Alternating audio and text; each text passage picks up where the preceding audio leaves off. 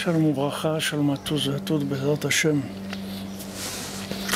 Alors, euh, ce matin, on a vu dans le Shiur une notion par rapport à la Torah 37. C'est que, si vous voulez, on a, on a tous deux personnalités. On a une personnalité qui a été forgée par le corps, et on a une personnalité, la vraie, qui est notre âme. Maintenant, dans le monde, quand on arrive, c'est le corps qui prend le dessus. Et ce corps, il est manipulé par la société, par tout ce qui est social, que ce soit nos parents, nos amis, des fois notre conjoint, notre lieu de travail. Tout ça, ça va manipuler notre corps, c'est-à-dire ça va nous renvoyer une image de nous-mêmes qui correspond à notre corps et qui ne correspond pas à notre âme. Notre âme, il n'y a personne qui la connaît, il n'y a que Hachem qui la connaît. Et que le tzaddik, qui la connaît. Maintenant, cette âme, il faut la faire naître. Cette âme, elle doit vivre. Elle est venue sur terre pour ça. Parce que tout le reste, c'est juste le fonctionnement, c'est tout. C'est la fonction. Rabbi Nachman l'a dit, quelqu'un il peut perdre toute sa vie dans le, fonction, dans, dans le fonctionnement seulement. Donc ce qu'il faut, c'est aider cette âme à sortir. Et pour ça, il faut parler avec Hachem. C'est là où on va commencer pour ça Rabbi Nachman dit que David Ameler, Saïd Bodedout, elle était en dessous, son, en dessous ses, draps quand il dormait la nuit.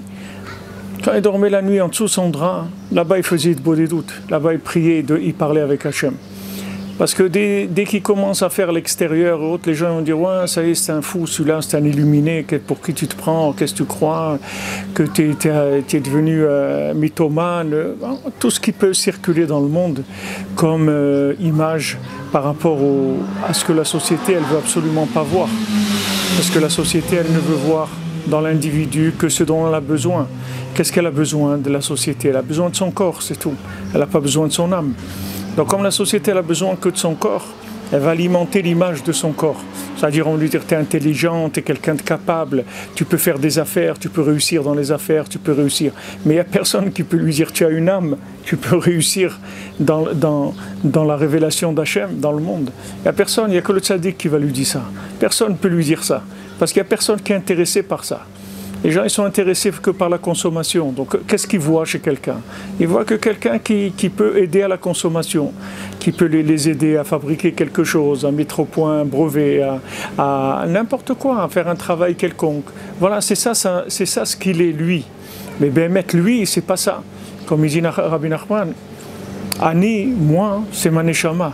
C'est pas ce que vous voyez là. Ce que vous voyez, mon métier, mon travail, je vais, je viens, je. Tout ça, c'est pas moi. Parce que tout ça, ça va partir. Ce qui va rester, c'est mon âme, c'est tout. Le corps, il va partir, il va rester l'âme.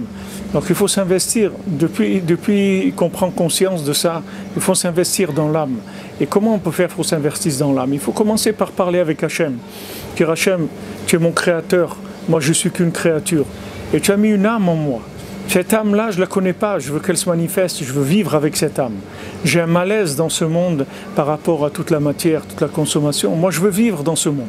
Aide-moi qu'on me laisse vivre, que les gens ils me laissent vivre, que les gens ils me laissent faire ce que j'ai à faire dans ce monde, que je trouve ce que je dois faire, et que j'arrive à, le réaliser, à le vivre pleinement. Et à ce moment-là, petit à petit, petit à petit, mon âme, mon âme, elle va sortir petit à petit, petit à petit. Après, je vais en parler avec un ami. Après, je vais, commencer à en parler avec mon conjoint.